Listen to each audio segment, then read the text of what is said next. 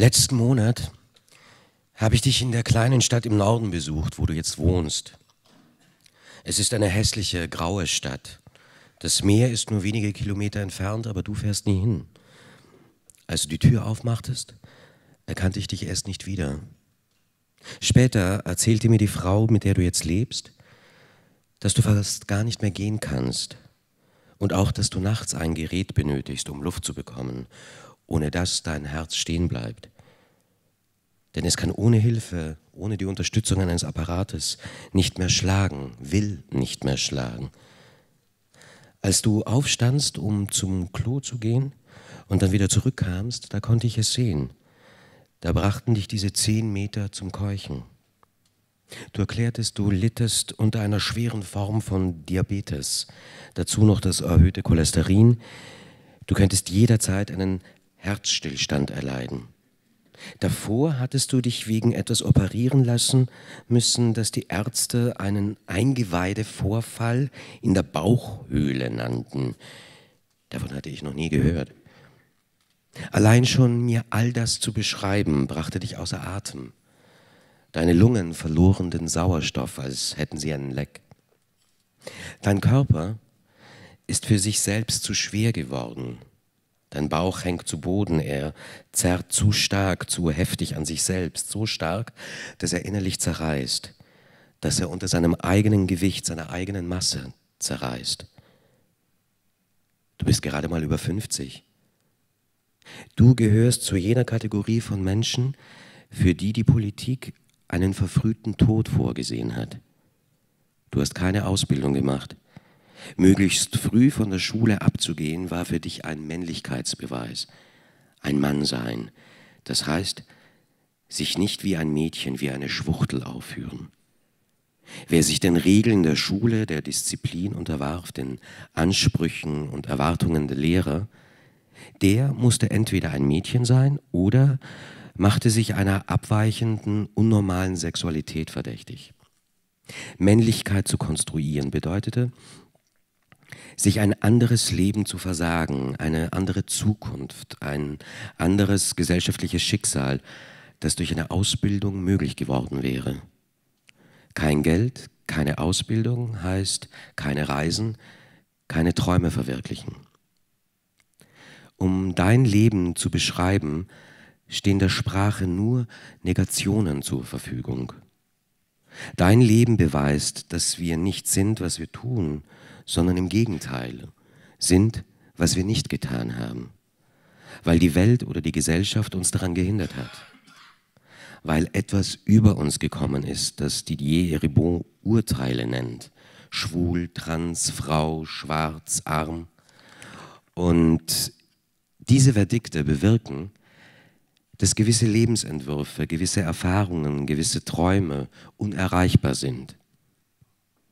Danach befragt, wofür in ihren Augen der Begriff Rassismus steht, antwortet die amerikanische Intellektuelle Ruth Gilmore, er bedeutet für bestimmte Teile der Bevölkerung das Risiko eines verfrühten Todes.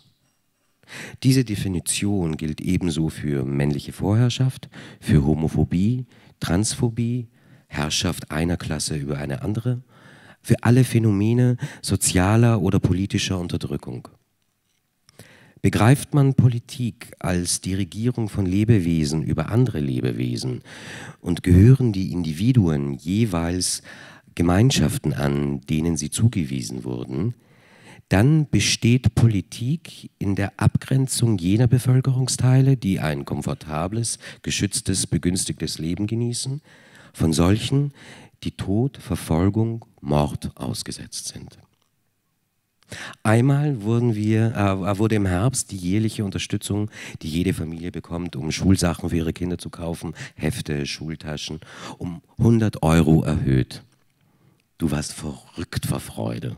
Du riefst im Wohnzimmer, wir fahren ans Meer. Und wir stiegen alle zu sechs in unseren Wagen, ein Fünfsitzer. Ich in den Kofferraum, wie die Geisel in einem Spionagethriller. Ich liebte das. Der ganze Tag war das reinste Fest für uns.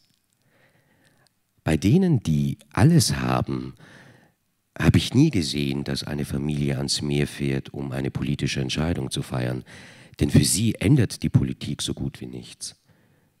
Das wurde mir klar, als ich fern von dir in Paris lebte. Die Herrschenden mögen sich über eine Linksregierung beklagen, sie mögen sich über eine Rechtsregierung beklagen, aber keine Regierung bereitet ihnen jemals Verdauungsprobleme. Keine Regierung ruiniert ihnen jemals den Rücken. Keine Regierung treibt sie jemals dazu, ans Meer zu fahren. Die Politik verändert ihr Leben nicht oder kaum. Auch das ist eigenartig. Sie bestimmen die Politik, obgleich die Politik kaum Auswirkungen auf ihr Leben hat. Für die Herrschenden ist die Politik weitgehend eine ästhetische Frage, eine Art, sich zu denken, sich zu erschaffen, eine Weltsicht. Für uns? Für uns ist sie eine Frage von Leben oder Tod.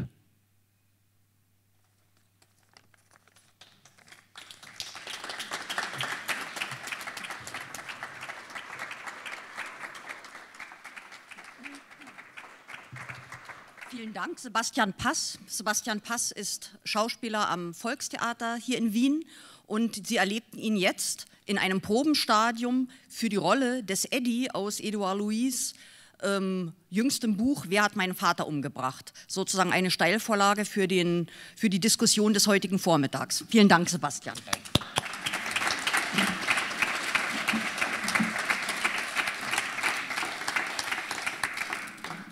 als am 15., auch wenn das Haus nicht so wirkt, lassen Sie mich das sagen, ich bin Heike Müller-Merten, die leitende Dramaturgin des Hauses, hier wird immer noch Theater gespielt. Am 15. November kann das Volkstheater Wien, und wir sind sehr stolz darauf, die deutsche Erstaufführung von der Theaterfassung des jüngst erschienenen autobiografischen Romans von dem jungen Intellektuellen Edouard Louis zur Aufführung bringen.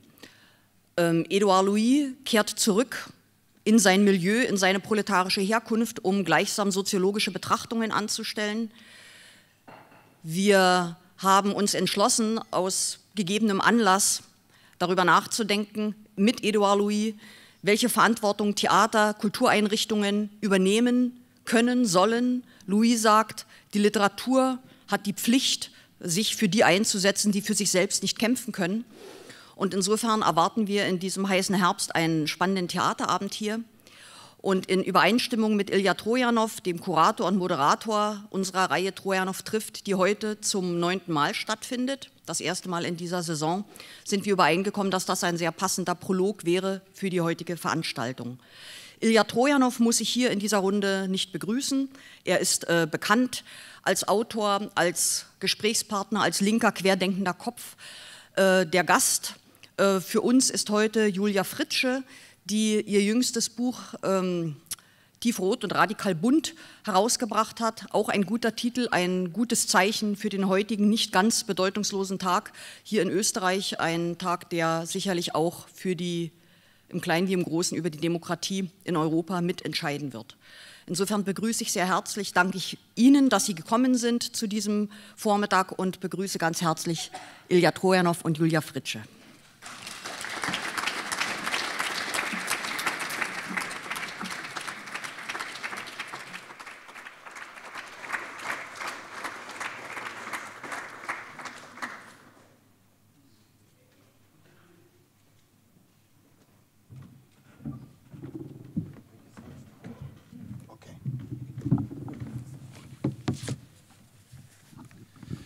Ja, schönen guten Morgen.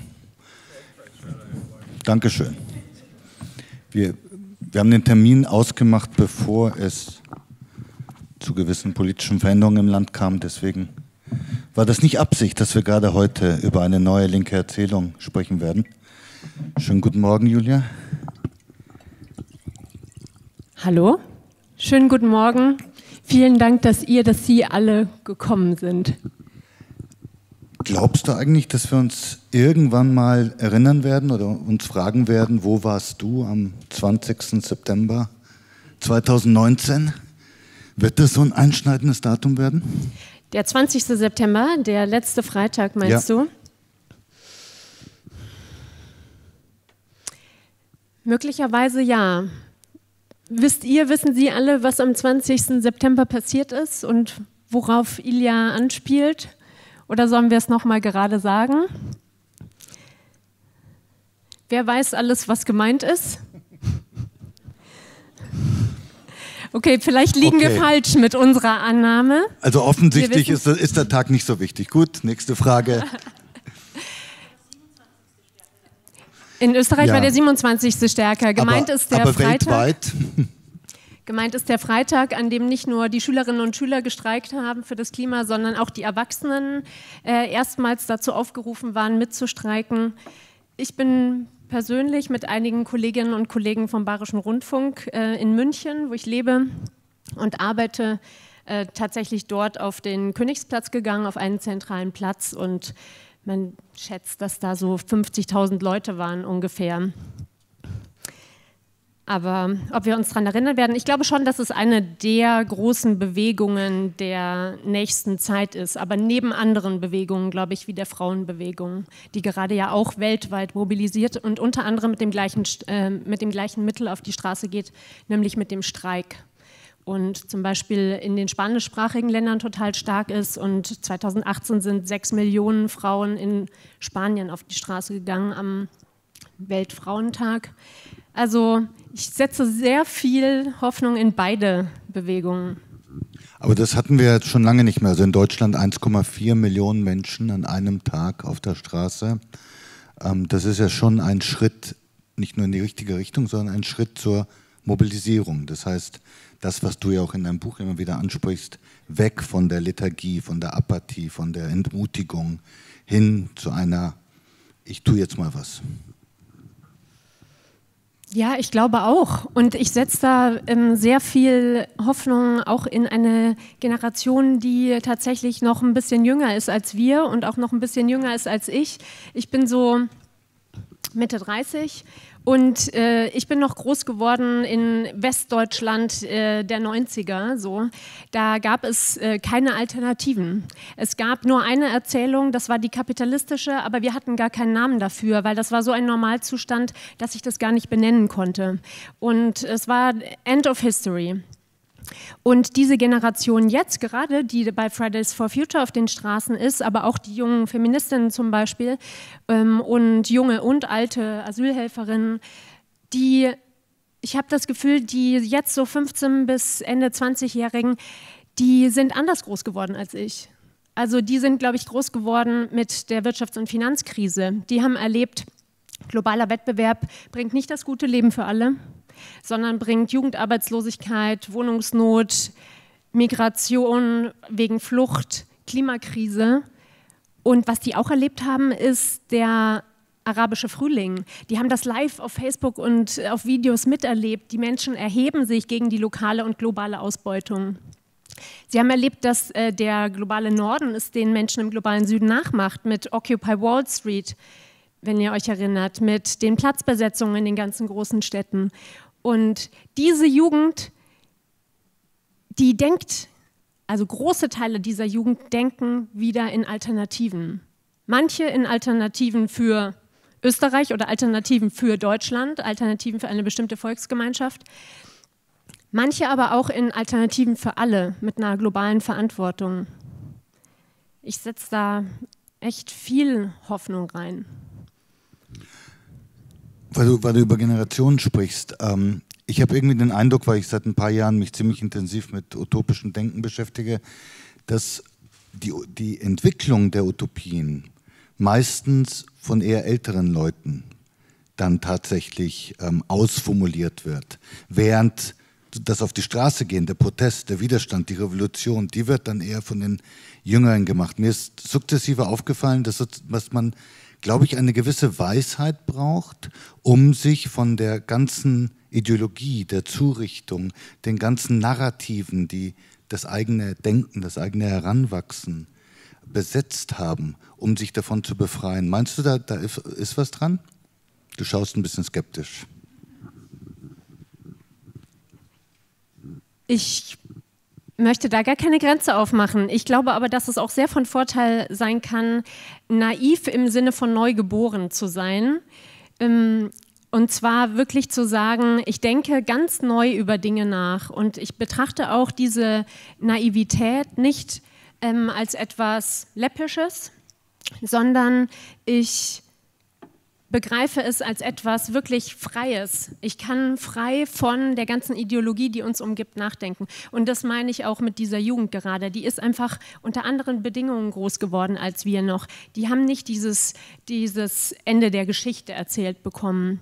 Also ich setze, ich möchte da wirklich überhaupt keine Trennung aufmachen. Ich glaube auch, dass die Mittelalten fähig sind zu, äh, zu Brüchen mit der, der Denkensweise und setze meine, meine Hoffnung da in, in die ganzen verschiedenen Generationen, oder nicht? Also, Meinst du es ernst? Setzt du wirklich nur in die. Nein, nein, nein, es geht nicht um ein Setzen, es geht um Erfahrungswerte. Also ich habe mir mal angeguckt, so wird sozusagen, wer hat auch geschichtlich wirklich relevante Utopien entwickelt. Und deswegen wollte ich einfach mal deine Meinung hören. Aber wir haben jetzt schon innerhalb der ersten fünf Minuten, ich weiß nicht, wie oft das Wort Erzählung oder Narrativ benutzt. Das finde ich ja sehr interessant, weil das ja nicht selbstverständlich ist, dass in Politik, im Widerstand Erzählung so wichtig ist. Das deutet ja darauf hin, dass sozusagen der politische Prozess, Emanzipation, erstmal mit einem Narrativ beginnen wird, mit einer Art und Weise, wie erzählen wir die Welt. Ich vermute, du hast ganz bewusst das auch als Untertitel deines Buches gewählt. Naja, du machst ja auch nichts anderes als erzählen. Also nicht, dass ich das geringschätzen möchte, sondern du, du verwendest ja auch dein Leben als Autor und Publizist darauf, zu erzählen und zwar politisch zu schreiben. Also glaube ich, dass mindestens du hier auch davon überzeugt bist, dass das notwendig ist. Aber anders als du das jetzt gerade formuliert hast, würde ich sagen, es äh, muss nicht vorher da sein, sondern es muss parallel gehen und es muss das aufnehmen, was da ist. Also das Begehren, dass die Menschen artikulieren, äh, die jetzt nicht... Äh, wie, wie wir und vielleicht einige von euch im Journalismus arbeiten oder Bücher schreiben oder PolitikerInnen sind oder PfarrerInnen sind und von Kanzeln runtersprechen können, sondern idealerweise ähm, nehmen Erzählungen, die wir alle gemeinsam schaffen, nehmen eben auf, was wir überall hören. Und ich habe das ganz konkret ähm, jetzt so gemacht, äh, Du kannst dann auch noch mal sagen, wie, wie du arbeitest. Ich habe konkret recherchiert, weil ich Journalistin bin und einfach rausgehe und mit Menschen spreche, üblicherweise für Radio, Feature und Fernsehfilme. Und auch für dieses Buch habe ich zum Beispiel Pflegerinnen in Deutschland begleitet an deutschen Krankenhäusern, die sich gesagt haben, wir wollen nicht mehr so arbeiten. Wir lieben zwar unsere Arbeit, aber ich möchte nicht unter diesen Umständen arbeiten. Also ich habe mir diese Geschichten von diesen Leuten angehört und versuche das dann zu bündeln. Eine Geschichte ist von Luisa, einer jungen Krankenschwester, die sagt, ich kann nicht so arbeiten, wie ich gerne möchte im Krankenhaus. Also ich muss ähm, nicht nur, dass die ganze Zeit die Klingel läutet auf dem Gang, sondern ich muss auch noch immer ständig alles dokumentieren, was ich hier mache. Dafür geht ein Drittel laut Schätzung meiner Arbeitszeit drauf. Und ich möchte aber, jeder sieht es anders, sagt sie, ich möchte aber, wenn jemand die letzten Minuten in seinem Leben hat, möchte ich eigentlich, glaube ich, dass, dass es gut wäre, wenn jemand dabei wäre. Und ähm, oft im Krankenhaus bei uns sind keine Angehörigen von diesen Leuten dabei, wenn die ähm, anfangen zu sterben. Und ich möchte, ich möchte da da sein, aber ich kann nicht, weil ich kann nicht in den Raum reingehen, weil es klingelt schon wieder woanders. Was mache ich dann, wenn ich sehe, das sind jetzt die letzten Minuten bei jemandem, ich stelle mich dann wenigstens in den Türrahmen mit meinen Akten und fülle die dort aus, damit der spürt, da ist noch jemand. Und diese Geschichten versuche ich aufzunehmen und das, was dort auch tatsächlich passiert.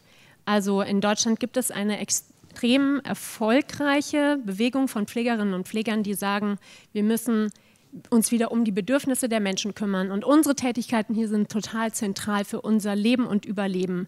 Pflegen, sich um andere kümmern, trösten, auch die ganze unbezahlte Arbeit, die viele Frauen machen, kochen, putzen, waschen, diese ganze Care-Arbeit, die ist enorm wichtig.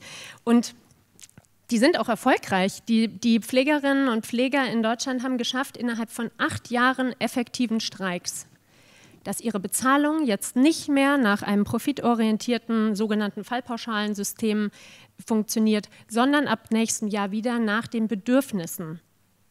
und dass es Pflegeschlüssel für alle Stationsarten geben soll, nicht nur wie bisher für psychiatrische Stationen und Frühchenstationen.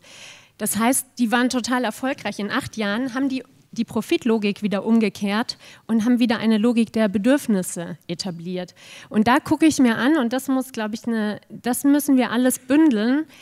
Ich habe mir da noch Bereiche der Ökologie angeguckt, Bereiche der Willkommensbewegung und Asylhelferszene, Bereiche, wo es sehr stark um eine freie Auslebung der Sexualität und der eigenen, äh, des eigenen Geschlechterempfindens geht. Und das müssen wir, glaube ich, alles bündeln, denn das ist da. Und das ist ja das, ist ja das Schöne. Und nur dann kann eine Erzählung funktionieren, wenn sie an etwas anknüpft, was die Menschen tatsächlich erleben auch. Und wenn wir sie dann möglichst immer wieder wiederholen, alle in unserem Alltag, eine Erzählung von Solidarität und Empathie, wie du das ja auch machst, in diesem äh, Buch hier, Hilfe, Hilfe, wo du dir verschiedene, aber vor allem im globalen Süden, ähm, Ideen der Solidarität und der Empathie auch angeguckt hast. Und diese Erzählung ist sehr viel realistischer als die alten Erzählungen, die wir haben. Die Erzählung, wenn jeder für sich selber kämpft, dann geht es uns allen gut, die nicht zutreffen. Und die andere, jetzt erfolgreiche und wahrscheinlich auch heute Abend erfolgreiche Erzählung, wir wollen ein gutes Leben nur für eine bestimmte Volksgemeinschaft.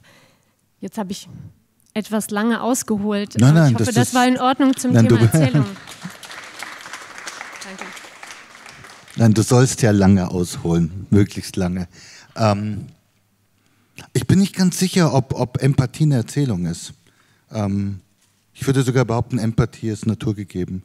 Und wir müssen uns angucken, was in der Gesellschaft Empathie und in den politischen Strukturen Empathie verhindert. Aber ist es nicht so, dass das ja ein Arbeiten ist sozusagen im eigenen Umfeld, was du gerade beschrieben hast, äh, was du äh, ja, ähm, die Pflegerinnen, wie sie dafür kämpfen.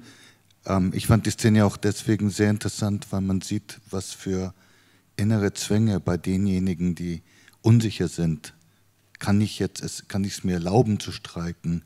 Äh, Leute, die hin und her gerissen sind zwischen den Bedürfnissen, den Idealen und gewissen Ängsten, gewissem Druck von außen.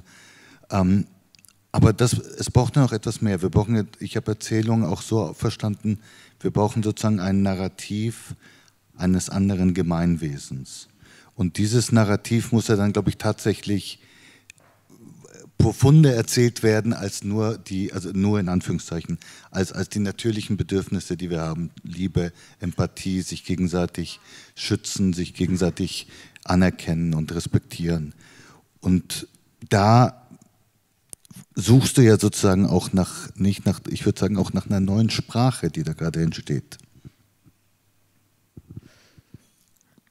Ja, ich würde gar nicht sagen nur äh, Liebe und Gesundheit und ähm, Fürsorge und ähm, diese Dinge, sondern ich finde, das ist, also gerade wenn du danach fragst, wie wir sprechen, dann finde ich das sehr viel sinnvoller, wenn wir äh, uns darum bemühen, eine neue Erzählung zu kommunizieren, zu sagen, ich will ein gutes Leben für alle mit sauberer Luft zum Atmen, äh, zum Atmen kostenlosem öffentlichen Nahverkehr, ähm, guter Pflege, hohen Löhnen, weniger Zeit für Erwerbsarbeit, also zum Jobben, damit ich mehr Zeit zu Hause habe, um mich um meine Familie, meine Freundinnen und um Politik zu kümmern. Also ich finde, äh, und das äh, wenn, wenn das jemand auch macht und äh, beherzigt, dann ist das ähm, Elia Trojanov in einer sehr einfachen und klaren und präzisen Sprache zu sagen, was unser Begehren ist. Und ich glaube, das ist sogar,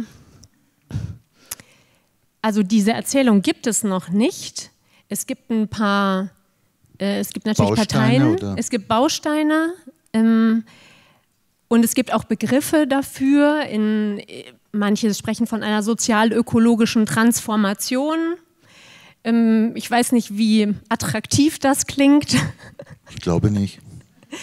Oder von einem demokratischen Sozialismus. Das macht so die ähm, Linke und die Linkspartei in Deutschland. Ähm, ich weiß nicht, wie attraktiv das klingt. Also ein, ein Ismus klingt für mich nicht danach, dass sich möglichst viele Menschen daran beteiligen. Aber bleiben wir doch mal ja. bei, bei gutes Leben für alle. Ja. Das, glaube ich, klingt ja erstmal sehr einladend, oder? Manche sagen, es könnte auch Angela Merkel sagen. Es ist so ein Commonplace. Ja, genau. Aber genau darauf wollte ich hinaus. Ja. Sozusagen der erste Satz, den könnte wahrscheinlich in einer Sonntagsrede jeder sagen. Aber der zweite Satz müsste ja dann lauten, wie kommen wir dahin? Und dann vermute ich, äh, werden wir ganz, ganz schnell ganz große Unterschiede haben. Das heißt, dieses, also man hat sozusagen das Schlagwort, man hat eine, eine Metapher, ein Symbol, vielleicht ein poetisches Bild. Und dann muss man doch sozusagen die Erzählung finden des, des nötigen Widerstandes und der nötigen Strukturen, um dahin zu kommen. Und da, da sind wir ja gerade, oder? Ja, da habe ich jetzt auch keine Antwort darauf, wie das geht. Ich glaube, erstmal müssen wir herausstellen, und das machen gerade viele dadurch, dass sie in Initiativen und auf der Straße und ähm, in anderen Orten ihre Begehren artikulieren. So, das ist der erste Punkt. Das heißt, die Frauen gehen auf die Straße, weil sie im 21. Jahrhundert mal als Menschen betrachtet werden wollen. Die Jungen gehen auf die Straße, weil sie im 21. Jahrhundert noch leben wollen. Die Menschen fahren ins Mittelmeer, weil sie nicht akzeptieren, dass Menschen da ähm, ertrinken, wenn sie von einem Kontinent auf, dem, auf den anderen rüberfahren und helfen denen. Also wir haben eigentlich ganz viele Grundbedürfnisse gerade ähm, in hohem Maße artikuliert auf der Straße. Ähm, wie, wie bündeln wir das jetzt? Also ich glaube, dazu ist eben das Mittel der Erzählung gut, nämlich dass wir alle anfangen, uns andere Geschichten, und zwar eben erstmal so unkonkret ein politischer Entwurf ist, aber uns Geschichten von Empathie und von Solidarität zu erzählen. Dass wir uns nicht mehr die Geschichte erzählen, ja, äh, da hat wie mal wieder jeder an sich selber gedacht. Ja, diese Momente gibt es, aber es gibt auch die anderen Momente. Und ich glaube, wir müssen anfangen, da ein anderes Menschenbild zu schaffen. Wir haben ständig Momente der Solidarität. Wir haben in Deutschland, ich kenne jetzt die Zahlen für Österreich nicht, äh, sieben Millionen Menschen, die in den großen Wohlfahrtsverbänden arbeiten. Wie zum Beispiel meine Mutter, die singt da mit ähm, Ehrenamtlichen und hat da, leitet da einen Chor, äh, nicht mit Ehrenamtlichen, sondern als Ehrenamtliche mit Demenzkranken.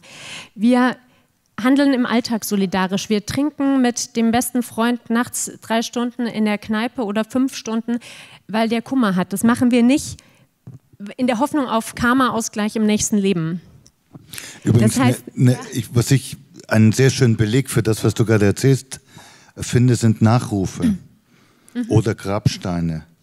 Da steht ja niemals, er war Abteilungsleiter bei Kick, hat es geschafft, 112.000 äh, Euro im, im Jahr zu verdienen konnte sich dreimal im Jahr als Rentner eine mhm. Kreuzfahrt leisten und hat darüber hinaus gelegentlich seiner Frau eine Ohrfeige gegeben.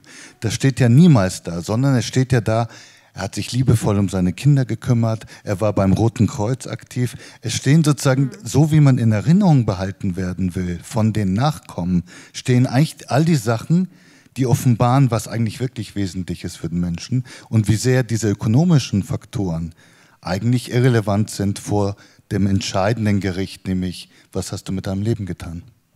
Ja, äh, äh Ilya Trojanow beschreibt das auch so schön in einem Satz, also die bisher, in der bisherigen Erzählung, wenn du da deinem behinderten Sohn einen Filterkaffee reichst, dann bist du eine Null.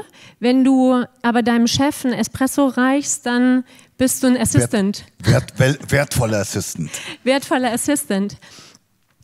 Ja, ich glaube, wir dürfen natürlich diese ganzen anderen äh, Seiten und vor allem, wenn der ähm, äh, Gestorbene seine Frau geschlagen hat, die dürfen wir natürlich nicht ausblenden. Und ich will auch gar keine rosarote Brille aufsetzen. Ich will nur da, wo faktisch solidarisches Handeln da ist, da möchte ich draufdeuten. Und da ähm, halte ich es für notwendig, dass sich als progressiv verstehende oder als links verstehende Menschen oder Menschen, die an einem guten Leben interessiert sind, dass stärker betonen. Und wir erzählen uns die ganze Zeit Geschichten. Wir erzählen Geschichten seit der Menschheitsgeschichte, am Lagerfeuer, am Kinderbett, in, in der, im Büro, in der Kantine. Wir erzählen Geschichten eben manchmal auch von einer Bühne aus oder von einer Kanzel aus als Pfarrerinnen oder von einem Parlament aus oder auf der Straße. Wir geben uns ständig Werte weiter. Und da ist eben die Frage, erzählen wir weiter die Geschichte wenn sich jeder um sich selber kümmert, dann ist für alle gesorgt? Oder erzählen wir eine andere Geschichte? Also diese Geschichte, diese Neoliberale der letzten 30 Jahre, an die glaubt ja auch wirklich eigentlich keiner mehr. Es traut sich auch fast niemand mehr, aus, die wirklich zu sagen, außer vielleicht hier die Neos und bei uns die, die FDPler. Aber sie existiert trotzdem in vielen kleinen Geschichten weiter. Also wenn du genügend Steve Jobs Biografien liest, dann schaffst auch du es out of the garage. Wenn du deinen Körper genug tunst, dann überreicht dir Heidi Klum ein Foto. Oder wenn du äh, genügend Mut hast, mit so einem Wingsuit von einem Gipfel zu springen, äh, dann kriegst du Ruhm und Flügel durch Red Bull. Also diese ganzen kleinen Geschichten umgeben uns die ganze Zeit. Und wir können anfangen, alle ständig andere Geschichten zu erzählen. Und ein letzter Punkt zu der zu der Umsetzung und wie wird daraus eine politische Erzählung, dass neben diesem alltäglichen Erzählen und diesem anderen Blick ähm, entstehen auch gerade andere Strukturen, wo sich die Leute selber, wie das beschreibe ich auch und einige habe ich mir auch angeguckt, wo sich Leute wieder selber ermächtigen, auch auf eine institutionelle Art und Weise. Also im Bereich der Fürsorgearbeiten, also Kochen, Putzen, Pflegen, Waschen, das alles, der Care-Arbeiten entstehen Care-Räte. Äh, in Freiburg zum Beispiel einer, wo Menschen sich einfach zusammentun und sagen, wie wollen wir eigentlich hier Fürsorge organisieren? Und da sind ziemlich viele junge Frauen auch dabei, die haben sich erstaunlicherweise erstmal das Thema Altenpflege gesucht und haben gesagt, wie wird das hier in Freiburg organisiert und wie viele Leute arbeiten da eigentlich und wie wollen wir eigentlich das organisieren? Wollen wir das eher privatwirtschaftlich machen oder wollen wir das irgendwie gemeinschaftlich oder staatlich hier organisieren? So. Das Gleiche gibt es auch im Bereich der Ernährung. Es gibt im deutschsprachigen Raum zwei Dutzend Ernährungsräte. Das heißt, da tun sich Leute zusammen und sagen, wo, wie wollen wir uns ernähren? Wollen wir uns eher regional ernähren oder wollen wir äh, Produkte und Orangen aus dem globalen Süden, wo Menschen dafür versklavt werden? Im Bereich der, des Klimas gibt es Klimaräte. Und die die nennen sich auch nicht zufällig Räte, manche nennen sich sogar dezidiert Räte in Anlehnung an die Räterepubliken, die wir äh, vor 100 Jahren hatten, zum Beispiel in, in Bayern, wo ich herkomme, einen von 28 ähm, Räterepubliken, einen, in einem Flächenstaat sogar. Das heißt, das war eine andere Art von ähm, Demokratie damals. Also das war ja in einer Umbruchssituation und die Menschen haben sich zusammengetan, erstmal so, wie es naheliegend war, nämlich Vertreter gewählt dort, wo sie ihren Alltag hatten. Also in den Betrieben, Betriebs, also wie nannten die das damals, Arbeiter, äh, Arbeiterräte in den Kasernen, die Soldatenräte, äh, die, die Gelehrtenräte an den Unis und so. Das Pro Problem damals war, Frauen waren ähm, außer im Krieg danach entweder nicht berufstätig oder sie arbeiteten anders als Dienstmädchen vereinzelt in Haushalten. Das heißt, die konnten sich zum Beispiel überhaupt nicht gut so organisieren. Da war die Rätedemokratie nicht so, in dem, in dem Moment nicht so förderlich. Aber im Prinzip ist es eigentlich schon was sehr naheliegendes und war auch damals einfach naheliegend, weil du wählst Vertreter und Vertreterinnen dort, wo du die Leute kennst. Das heißt nicht, wie jetzt heute alle vier oder fünf Jahre von oder vier Monate ähm, von einem Wahlplakat eine Person, die du noch nie selber getroffen hast, sondern du ver wählst Vertreterin deine Kolleginnen und Kollegen ähm, und die vertreten dich dann weiter. Das wurde nicht weiterentwickelt, dieses System, aber das entsteht gerade in diesen total ähm, elementaren Bereichen wie Fürsorge, Ernährung, Klima. Diesmal nicht an die Zunft gebunden, sondern die Leute tun sich dort spezifisch nach Themen zusammen. Aber da ähm, entsteht sogar schon so eine Art Institutionalisierung, die dann einflussgebend wirken könnte. Das ist überhaupt nicht ausdiskutiert, wie das funktioniert, ob die dann kommunale Parlamente beraten, ob die Initiativrechte irgendwann haben, ob die Vetorechte haben oder so. Aber es ist eine sehr viel basisdemokratischere Möglichkeit, unser Begehren auszudrücken. Ich finde das extrem wichtig und interessant und ich glaube, einer der der dominanten Erzählungen, gegen die wir vorgehen müssen, ist ja, dass es nur eine bestimmte Form von Institution gibt, nämlich die Bürokratie. Ich glaube, jede Gesellschaft braucht Institutionen, nur es gibt so viele andere Formen. Du hast gerade eine beschrieben, verschiedene Räte, die dann auf verschiedenen Ebenen ähm, Entscheidungen fällen. eine sehr direkte Form der Teilhabe der Menschen. Äh, es gibt auch andere äh, denkbare Formen der, der, der ähm, basisdemokratischen Institutionalisierung. Aber im Moment gibt es sozusagen nur entweder die hierarchische Bürokratie oder dann die noch übrig gebliebenen Ideologen des Neoliberalismus, ähm, überhaupt keine Institution, der sogenannte freie Markt. Und das wäre doch zum Beispiel wirklich eine, glaube ich, zentrale Erzählung, die man jetzt neu ähm, und was ich interessant fand, gerade an, an, deinem Rückblick auf das Jahr äh, 1919, ist ja, dass das Utopische oder das Progressive ja immer auch einen Moment der Archäologie mit sich enthält. Also nicht vergessen, wir hatten ja schon immer wieder in der Menschheitsgeschichte großartige äh, Projekte, die man sozusagen wiederbeleben kann.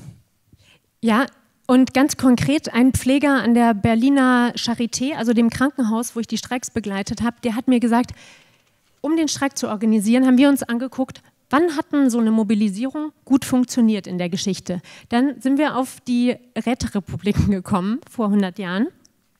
Und jetzt ist etwas völlig Neues entstanden an diesen Krankenhäusern, nämlich eine andere Struktur auch.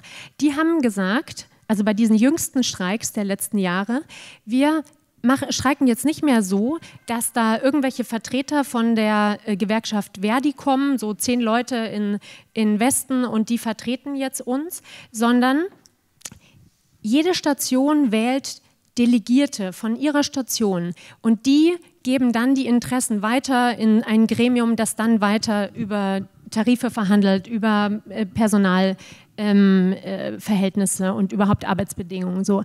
Weil die kennen sich genau aus. Die wissen, wie viele Leute sind nachts in der Schicht, nämlich nicht drei, sondern eine Person. Die wissen, was können denn genau irgendwie die Hilfskräfte. Die wissen aber auch, wie hoch ist denn unsere Streikbereitschaft auf der Station. Und plötzlich entsteht dort etwas, etwas anderes. Die vertreten sich selber und die das wurde auch noch mal parallel dazu in den USA gerade entwickelt, wirklich als eine neue ähm, Art der, der Organisierung äh, in Gewerkschaften auch. Und das wird in den nächsten Jahren auch in anderen Branchen stattfinden, dass sich die Leute selber dort ermächtigen. Und die haben eben lustigerweise, und ich war wirklich überrascht, zurückgeblickt und haben gesagt, wo hat denn das gut funktioniert? Ah. Aber das, dein ganzes Buch ist ja, sind ja lauter Geschichten einer Reise von Ohnmacht zur Ermächtigung. Und ich glaube, was was wir auch erzählen. Nicht immer mit gutem Ausgang, ne? Ja, nee, aber das, das ist, das glaube ich, äh, hätte man nicht anders erwarten können. Aber zumindest die, die Stoßrichtung, die, die Sehnsuchtsrichtung. Wir müssen ja in irgendeiner Weise ja auch, glaube ich, erzählen, was da alles an Beglückendem passiert. Ähm, es, Im Moment ist ja, sind ja viele dieser Diskussionen in irgendeiner Weise dichotomisch so ausgerichtet, wir müssen irgendwie als Wohlhabendere uns geiseln, was aufgeben, wir müssen quasi leiden, damit die Welt besser wird. Es wird, glaube ich, für die Spießbürgerin absichtlich so formuliert, dass all das, was progressiv ist, in irgendeiner Weise mit einer Art, mit einem Art Opferkult zusammenhängt. Und was ja viel zu selten ausgesprochen wird, was in deinem Buch ja auch immer wieder kommt, diese Ermächtigung ist ja auch wirklich Lebensinhalt und ist Beglückung. Und diese sozusagen andere Form oder wesentlicheren Form von Beglückungen, die man erfährt, zum Beispiel wenn man mit anderen zusammen etwas gestaltet, das müsste man doch eigentlich stärker ins Bewusstsein rücken. Ja, unbedingt. Wir müssen diese Geschichten feiern und verbreiten und, und äh, wirklich auch uns weitererzählen, diese Geschichten von Empathie. Aber natürlich nicht ohne zu erwähnen, dass ähm, gerade Pflege und Fürsorgearbeiten momentan unter einem unter enorm prekären Umständen stattfinden. Ein Drittel aller Erzieherinnen ist, hat einen Burnout, äh, also ist von Burnout geplagt. Und ähm, Frauen zum Beispiel machen zwei Drittel der Hausarbeit, zu, äh, übernehmen die und meistens zusätzlich zu einem Job. Also wir können nicht nur Geschichten natürlich ähm, des, des Glücks weitertragen, weil gerade in diesen sensiblen Bereichen und in diesen Bereichen der Solidarität geht das einfach auf Kosten von, von Menschen und von Menschenleben. Nicht zuletzt, wenn dann äh, Leute blutig entlassen werden in Krankenhäusern, um jetzt mal bei dem Themenbereich, weil wir den heute angesprochen haben, zu bleiben.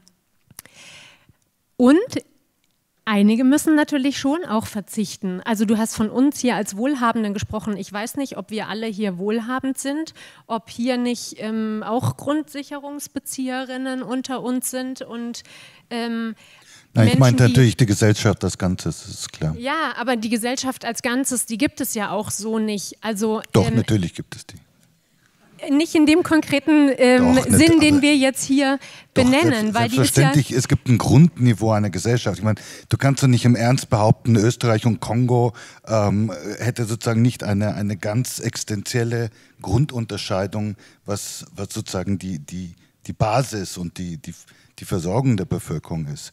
Das, und das betrifft dann wirklich alle. Selbst arbeitslos und arm zu sein in Österreich ist was völlig anderes als im Kongo, arbeitslos und arm zu sein. Dann differ Bitte? Ich will nicht immer Oder über Bulgarien reden, ja, aber ja. danke. Ja. Dann differenzieren wir jetzt an dieser Stelle. Dann machen wir es konkret und dann sagen wir, also du sprachst von den Wohlhabenden, dann müssen wir sagen, okay, wir sind im globalen Norden, selbstverständlich, da hast du total recht, wohlhabend gegenüber dem globalen Süden. Und Trotzdem gibt es natürlich Ausbeutungsverhältnisse im globalen Norden und Menschen, die, wie du das äh, schreibst in deinem Buch, der überflüssige Mensch zu überflüssigen erklärt werden. Wir haben, ich weiß jetzt nur die Zahlen für Deutschland, auch in Deutschland ein, ist jedes fünfte Kind von Armut bedroht. Ähm, und das mag keine Armut sein wie auf dem afrikanischen Kontinent in einigen Ländern dort. Trotzdem ist es ein sozialer Ausschluss hier, wenn du nicht mit ins Kino und mit ins Schwimmbad gehen kannst jeder fünfte Haushalt in Deutschland ist auch diesen Sommer wieder zu Hause geblieben, weil sie sich keinen einwöchigen Urlaub außerhalb von zu Hause leisten können. Die ärmere Hälfte in Deutschland verfügt über drei Prozent des Vermögens.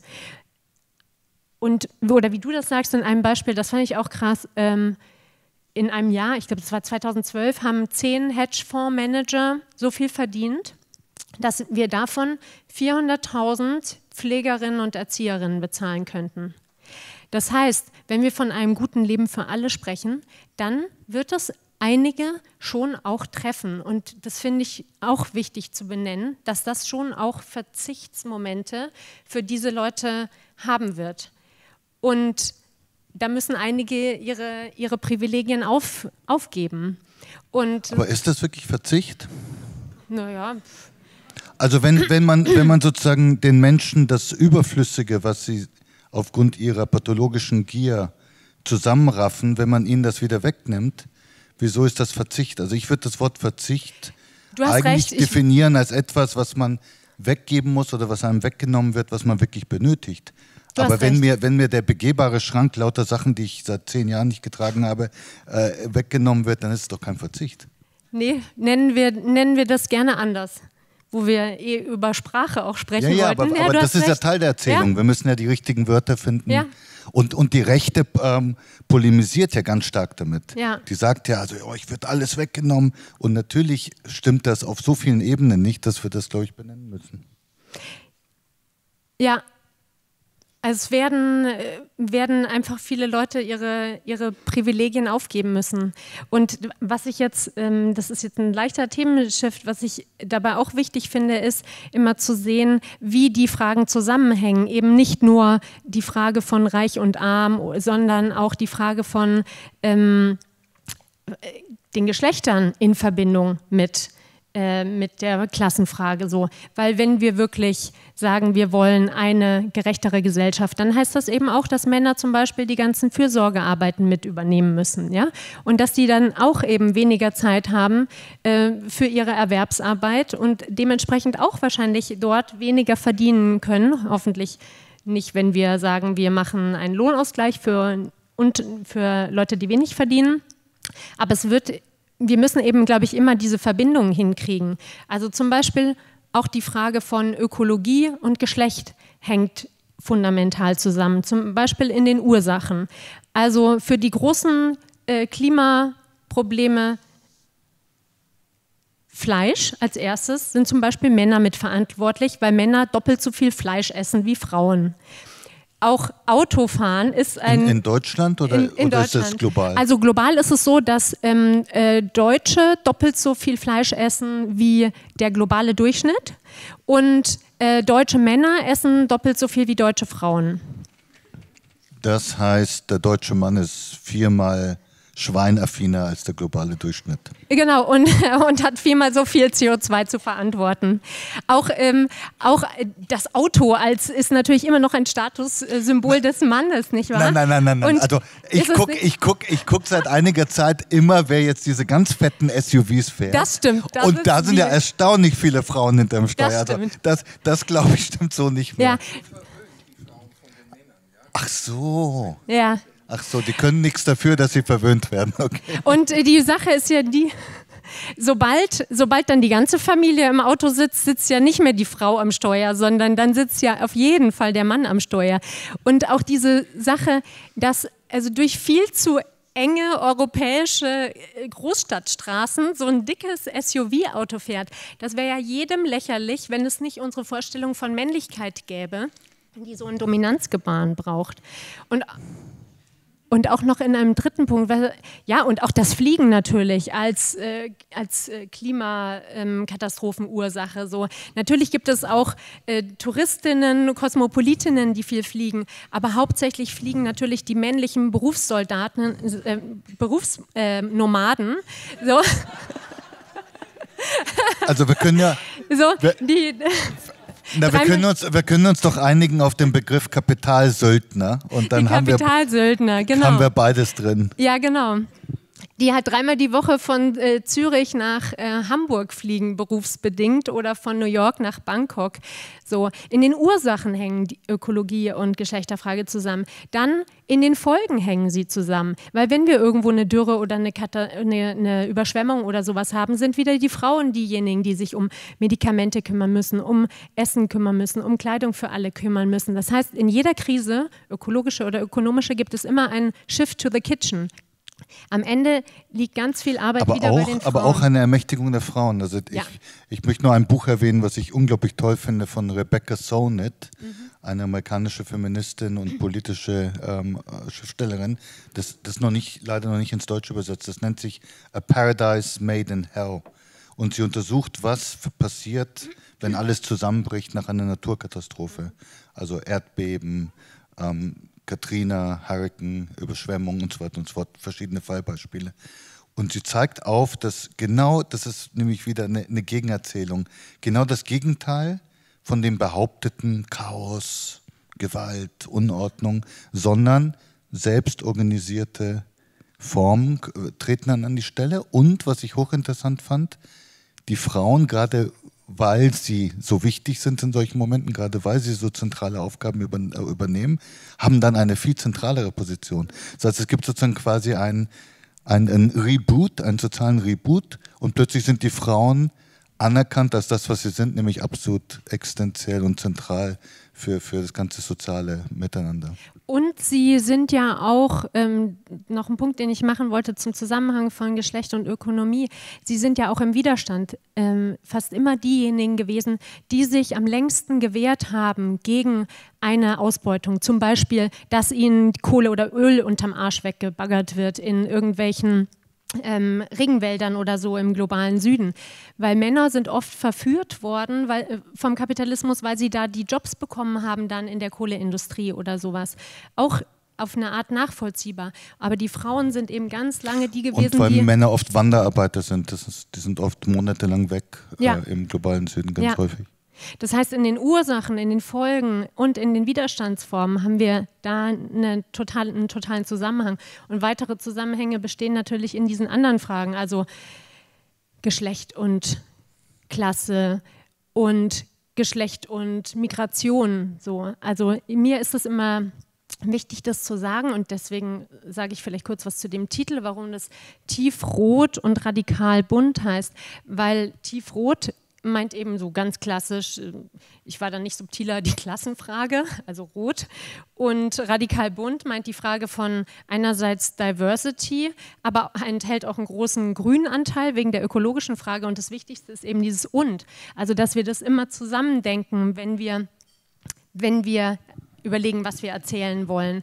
Also nicht die Arbeiterklasse gegen Klimafragen ausspielen und sagen, ja, die interessieren sich doch gar nicht für diese Sachen, sondern dass wir immer sagen, die Sachen hängen zusammen. Also ich kann nur materiell jemanden ausbeuten, wenn ich ihn vorher ideologisch ausgrenze. Das heißt, ich kann Frauen nur schlechter bezahlen oder gar nicht äh, für ihre Arbeit bezahlen, wenn ich sage, ja, die machen ja aber auch diese Arbeiten alle total gern und aus Liebe und auch alle total gern unbezahlt, oder?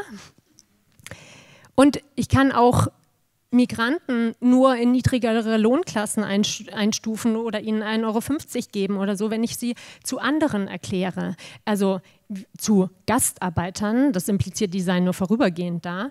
Oder wenn, ich kann auch den globalen Süden natürlich nur ausbeuten, wenn ich sage, ja, das sind aber auch irgendwie grundsätzlich andere Menschen und die haben auch ganz andere Lebenserwartungen als wir und Anforderungen ans Leben.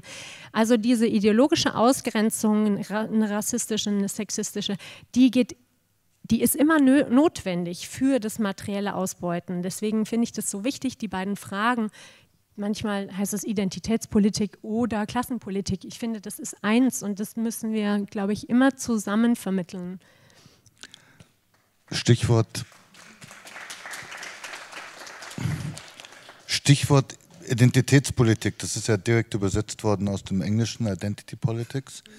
Und das ist ja nicht nur positiv, ähm, in dem Sinne, dass es inzwischen ja gerade das gibt, was, wogegen du jetzt argumentiert hast, nämlich ein, eine völlige politische Selbstghettoisierung. Das heißt, dass man dann einem bestimmten Identitätsmerkmal die gesamte Aufmerksamkeit gibt und dann geht es nur darum, das zu erfechten. Das heißt, ein, ein, eine Art progressiver Tribalismus auf Kosten dieser komplexen Vielfalt, die du gerade beschrieben hast, und eines universellen Gedankens. Und ich bin da irgendwie jetzt ganz altmodisch. Ich denke mir immer, alle wesentlichen Verbesserungen können nur von universellen äh, Gedanken getragen werden. Also was sozusagen nicht für alle gilt, ist Unfreiheit und Ungerechtigkeit. Und da gibt es doch, siehst du das auch, da gibt es sozusagen einen Teil dieser sogenannten Identity Politics, gibt es eine eigentlich eher eine, eine für mich bedrohliche Gegenbewegung zu diesem Universellen.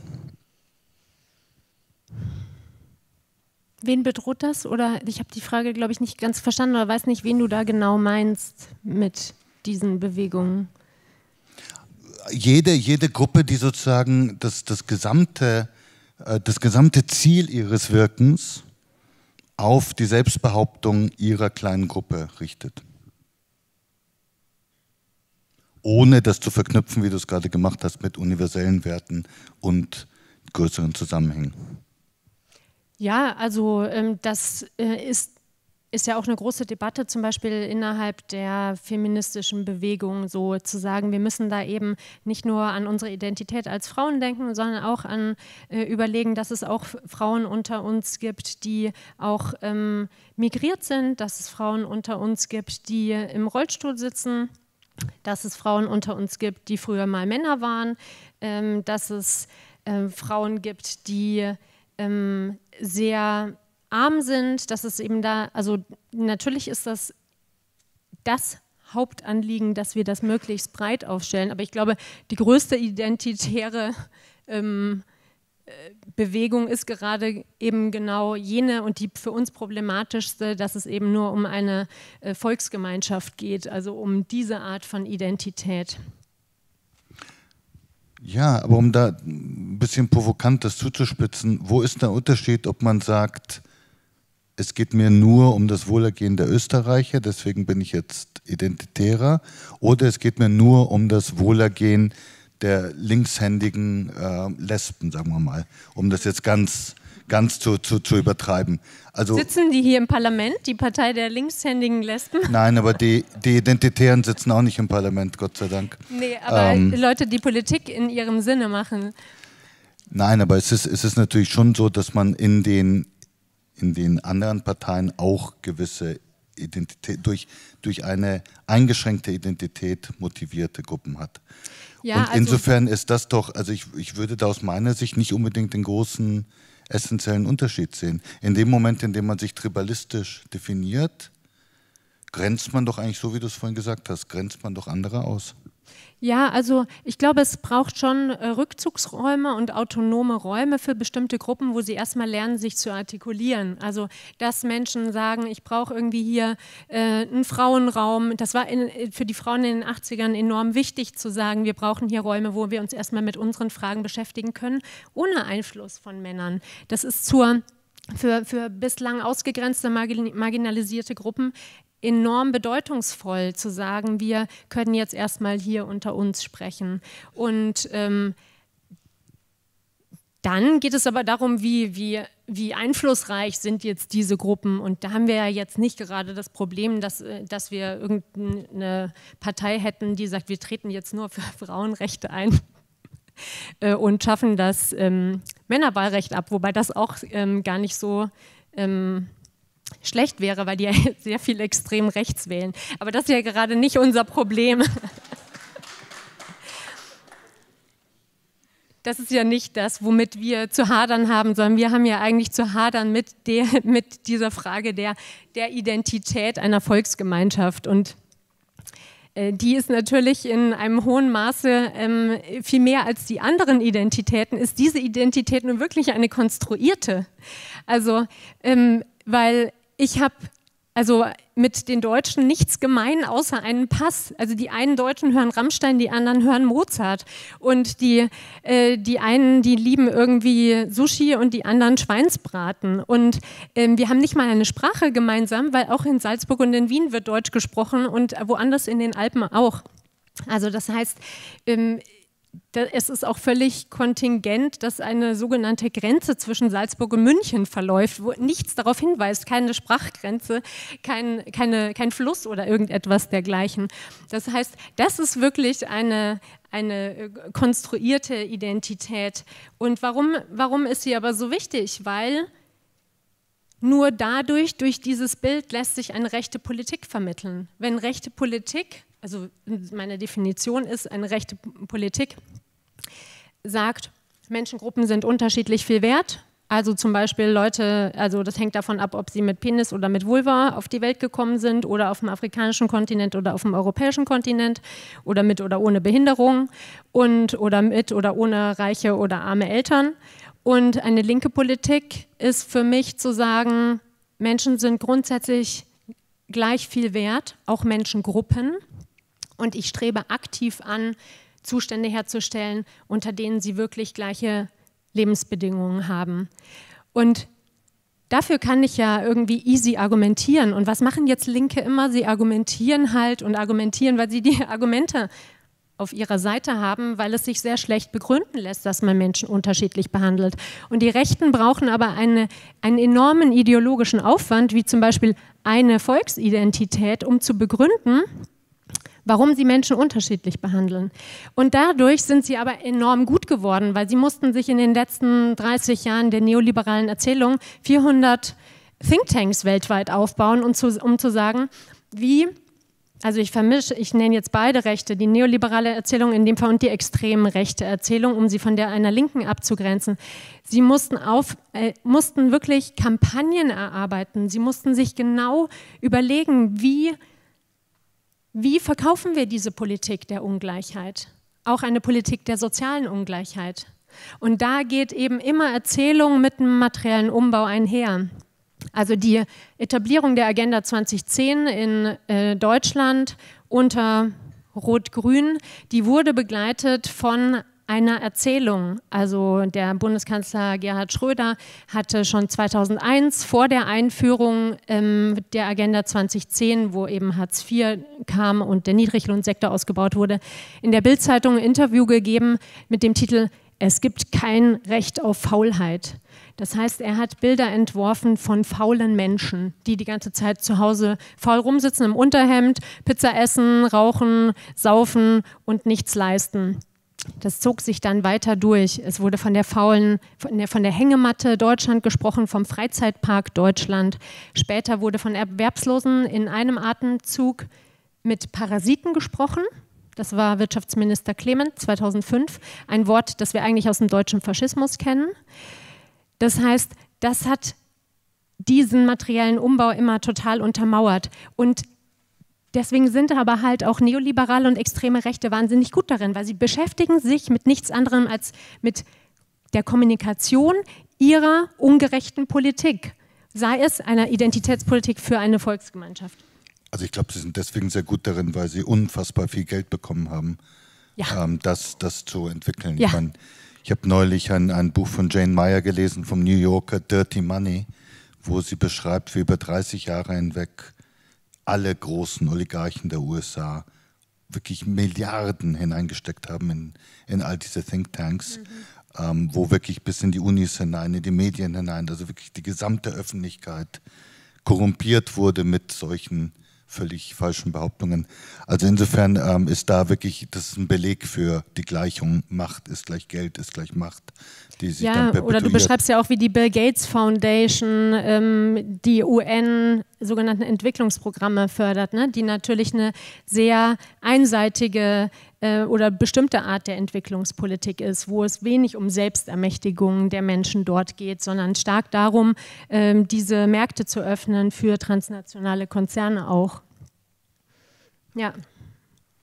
Also da wir in der Zeit schon die erste Stunde hinter uns haben und ich letztes Mal gerügt wurde, ich hätte keine Fragen aus dem Publikum zugelassen, will ich natürlich im, Sinne, im Sinne der Teilhabe und einer völligen Inklusion Sie einladen, auffordern, eine Frage zu stellen, wenn Sie mögen natürlich. Es gibt meiner Ansicht nach ein Recht auf Faulheit, es gibt auch ein Recht meiner Ansicht nach auf Schweigen. Das haben wir aber dann auch. Das haben wir auch. Ich, ich werde, ich gebe Ihnen schnell das Mikrofon. Ja. Mein Name ist Daniel Kibitschenko und ich kann Ihren Ausführungen sehr gut folgen und freue mich, dass ich heute hier bin. Ich wusste von Ihnen nichts. Ich bin nur gekommen, weil der Trojanov äh, Gespräch führt und äh, bin nicht immer mit ihm einverstanden, aber das macht ja nichts. Äh, zu der Erzählung möchte ich sagen, da ist was passiert, nämlich äh, seitdem der Ostblock weggebrochen ist, haben wir kein Feindbild mehr im Westen gehabt und mussten uns nicht mit dem messen. Und jetzt hat die, also die Wirtschaft alles übernommen. Die Politik arbeitet ja nicht mehr für den Menschen, sondern für die Wirtschaft. Und die Frage ist, wie gelingt es wieder, den Menschen in den Mittelpunkt zu bringen? Und das sind Ihre Versuche hier auch mit dem, was Sie da ausgeführt haben. Äh, wir sind so verführt von der Technik. Es ist so großartig, ja. Es hilft uns aber kein Roboter im Kindergarten oder der Pflege, sondern wir brauchen den Menschen. Und da, die Frage ist, wie kann man etwas entwickeln? Und das ist diese Erzählung, der Mensch ist im Mittelpunkt und alles andere kommt nachher. Und die Verteilung der Erde, es ist ja kein Besitz. Wieso haben wir, wir plündern die ganze Welt mit unserem Wohlstand hier? Und wir haben nichts anderes als Kolonialisierung. Das, was jetzt ist, ist ein Wirtschaftskrieg, ein ganz enormer Wirtschaftskrieg, wo die Großen, die das Geld haben, äh, da das Sagen haben. Ja, waren drei. Meine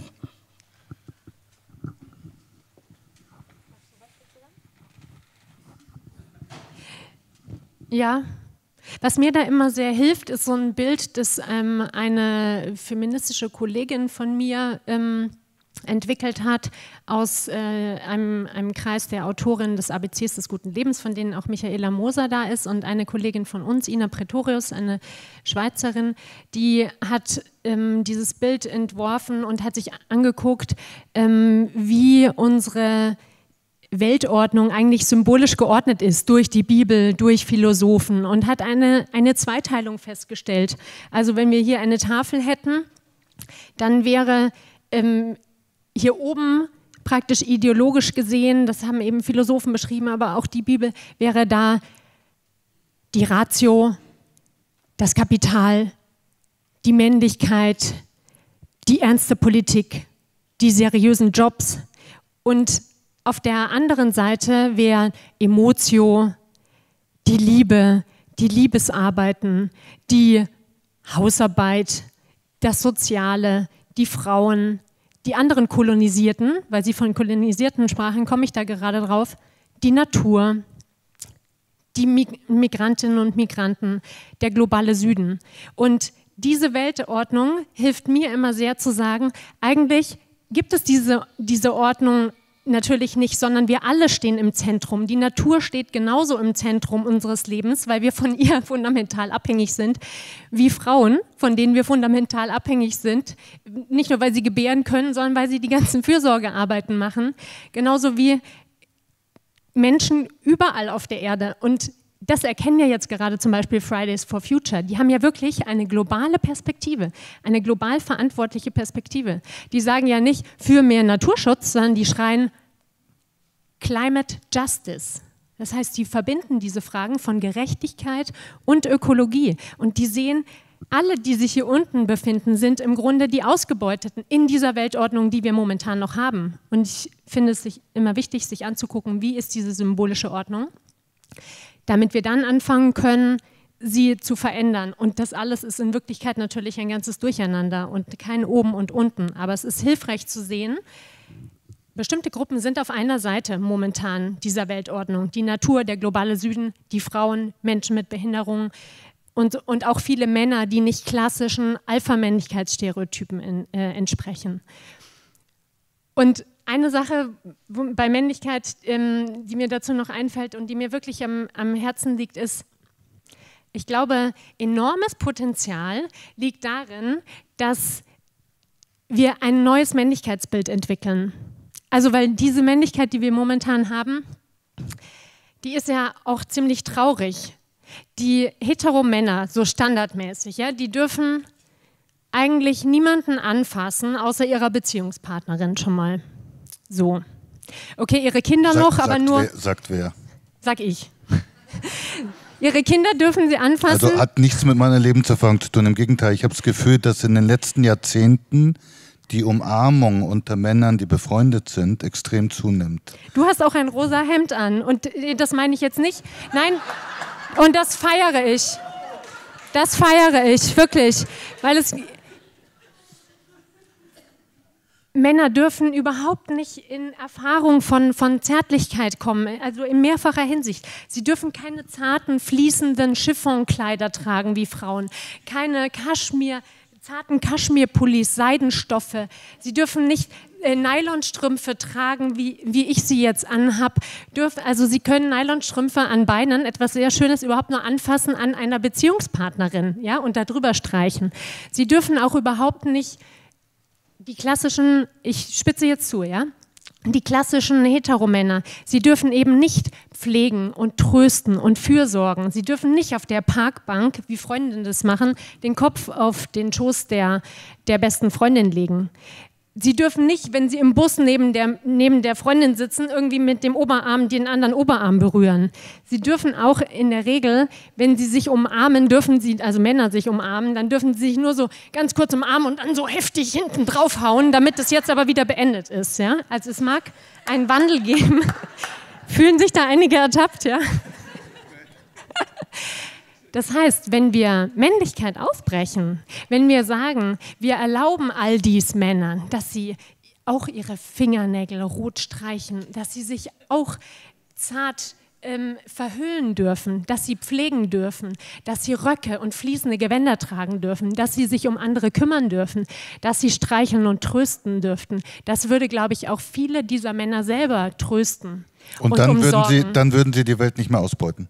Wenn Sie rot radierte Fingernägel haben. Der, erstmal wäre das natürlich würde das wirklich fundamental unsere Arbeitsteilung ändern, wenn sie wirklich tatsächlich sagen würden, weil die Männer auch zur Maniküre müssen und daher ja, keine Zeit haben, ja, Geld zu und verdienen. weil sie die Schönheit, der, die Schönheit darin entdecken, die darin liegt, auch für viele Menschen. Es müssen ja nur die machen, die es wollen, sich die Fingernägel lackieren. Aber schön wäre, wenn Männer wirklich anfangen würden, unsere Fürsorgearbeiten zu übernehmen, zu pflegen, wirklich es ist ja auch der ja, größte da, Angriff aber auf die Da muss ich sagen, da, da, hat der Herr nicht ganz recht. Der Roboter kann nämlich schon helfen bei der Pflege, weil wenn wir zunehmend befreit werden von stumpfsinniger, erniedrigender, gesundheitsgefährdender Arbeit, was ja hundertprozentig passieren wird, zunehmend Automatisierung.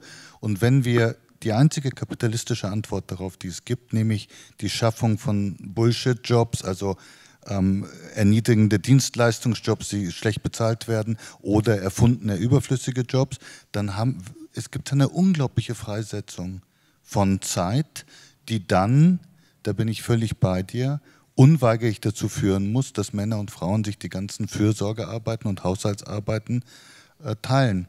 Aber diese, diese Befreiung, die sehe ich eigentlich ziemlich klar voraus. Also wenn wir natürlich eine, eine Transformation der Gesellschaft haben, aber da wird, glaube ich, der technologische Fortschritt schon uns auch helfen. Nicht automatisch. Also ich glaube, dazu Nein, brauchen ich wir ja genau, gesagt, wenn ja, wir, wenn, wenn wir die, eine klar, die Transformation klar. meinst du auch die ideologische, dass wir Ja, wirklich klar. äh, Männer ermutigen, diese Sachen zu machen.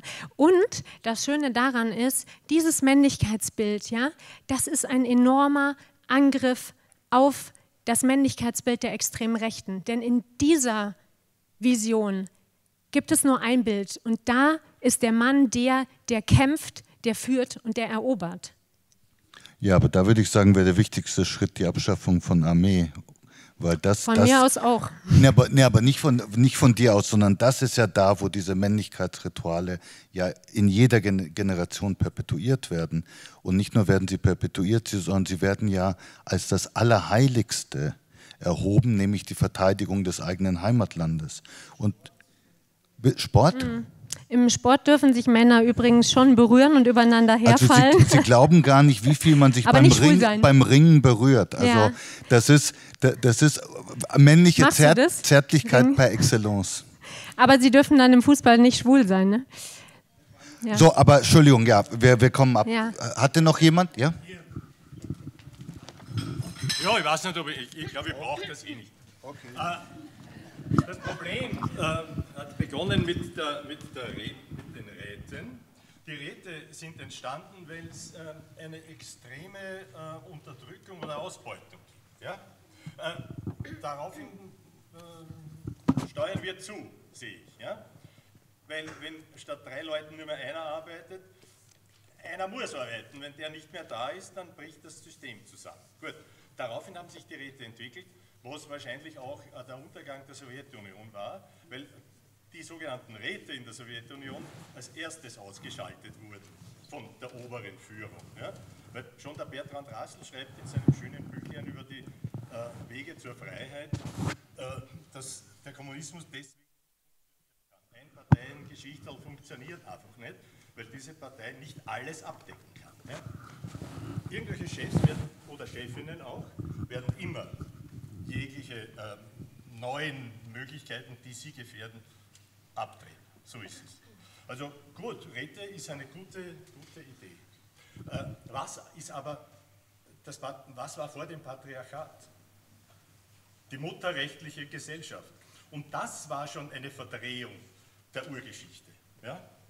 Mutterrechtliche Gesellschaften äh, haben zwar gut funktioniert, ja, aber als die Frauen begonnen haben, so sehe ich das, ja, äh, sich mit den Männern zu verbünden und zu sagen, okay, äh, wie machen wir das, dass wir Kinder kriegen, die Arbeit machen, und machen wir das gemeinsam und ihr beschützt uns, ja, ihr großen, starken, ausgebildeten, ja, äh, da beginnt das Patriarchat und da beginnt das, das eigentliche Problem.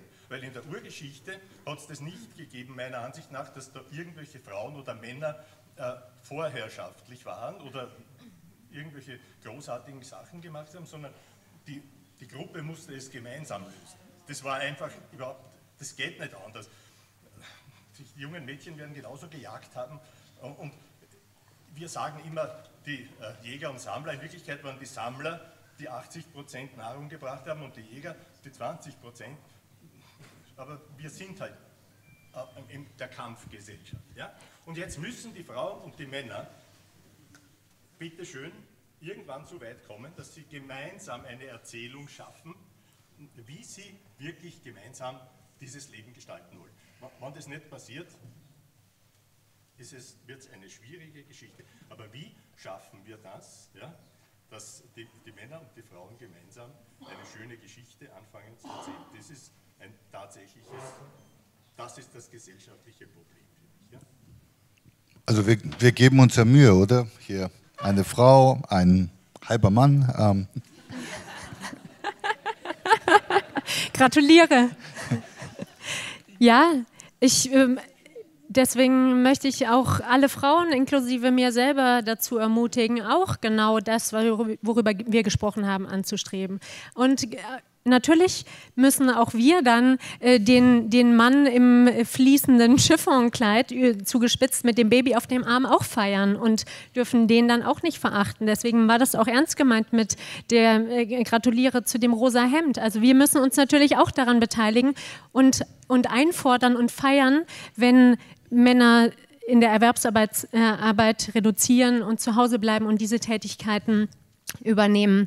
Also und darüber hinaus dürfen wir natürlich äh, diesen, diese Diskussion nicht auf die Geschlechter eben verengen, sondern müssen eben auch fragen, ähm, dann muss ein äh, klassisches Hetero-Ehepaar eben auch diskutieren, äh, zu welchen Bedingungen äh, zu Hause die, das rumänische Kindermädchen und die polnische Putzfrau arbeitet und ähm, wie das ist, dass äh, deren Ausbildung als äh, technische Bauzeichnerin eigentlich nicht anerkannt ist in Deutschland, weswegen sie jetzt hier putzen muss. Und da kann man auch überlegen, ja, akzeptieren wir eigentlich dieses Schicksal der, einer Pässe-Lotterie, ähm, wonach ich Glück hatte, in Deutschland mit einem guten Pass geboren zu sein und jemand anders das Pech hatte, in ähm, Bagdad mit einem schlechten Pass ausgestattet zu sein. Und was wäre, wenn es diese Grenzen, diese Pässegrenzen nicht gäbe? Zu welchen Bedingungen würden denn dann hier alle arbeiten, wenn die Ausbildung als technische Bauzeichnerin von der Putzfrau hier anerkannt wäre? Wer würde denn dann hier putzen und zu welchen Bedingungen? Also ich würde dafür plädieren, auch das weiterzudenken und nicht nur auf die Geschlechterfrage. Punkto Pass, da ich einen deutschen Pass habe, darf ich hier nicht wählen ähm, obwohl ich hier lebe. Aber manche von Ihnen haben wahrscheinlich einen österreichischen Pass.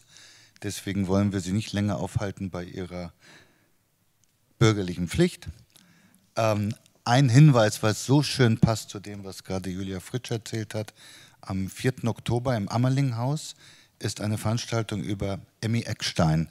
Ähm, es ist interessant, dass gerade in den letzten Jahren ja zunehmend ähm, endlich erzählt wird von Frauen, die eine entscheidende Rolle bei künstlerischen oder politischen Biografien gespielt haben, die aus der Geschichte ausradiert waren, so natürlich auch bei der, bei der äh, Linken. Und Emmy Eckstein war eine ähm, extrem umtriebige, extrem interessante, eigenwillige Person, ähm, die 1939 äh, gestorben ist, eine, eine Jüdin mit sehr vielen Kontakten und engen Beziehungen in die extreme Linke ähm, der damaligen Zeit. Ähm, also Ammerlinghaus 1930, 4. Oktober.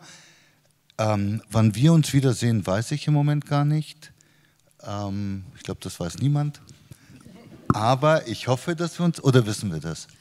Wir werden uns, da kann ich antworten, äh, wir werden uns bemühen, dass wir uns wiedersehen. Definitiv nicht hier, weil wie gesagt, wir sind ja jetzt schon eingebaut, in Plastik eingehüllt und äh, die, diese Reihe hat heute in der Roten Bar die letzte Veranstaltung, wie sie, nachdem du von deiner Reise zurückgekehrt bist, äh, im neuen Kalenderjahr weitergeht. Entnehmen Sie unseren Ankündigungen. Wir werden Ilja Trojanow einladen, im Volksmargareten, der kleineren Spielstätte, weiterzumachen, weil das Volkstheater, nachdem wir noch einige Premieren rausgebracht haben, dann erstmal in die Halle E ausweicht. Also und dann, das sag ich. Und dann wollen wir auf den Heldenplatz umsiedeln, oder?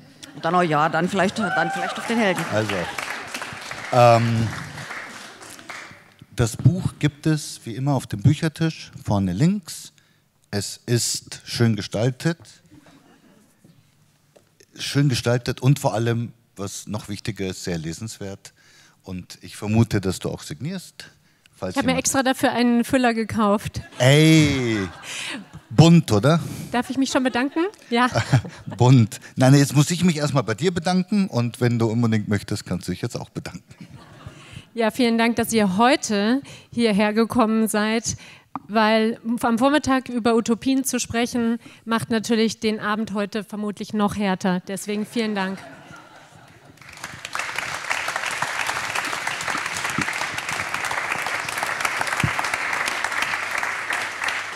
Und da wir beim Danken sind, das habe ich eingangs vergessen, danken wir auch unseren Unterstützerinnen und Unterstützern vom Institut von der Wissenschaft vom Menschen hier in Wien, die uns helfen, diese Veranstaltungsreihe durchzuführen. Das soll hier noch gesagt sein an dieser Stelle. Herzlichen Dank auch.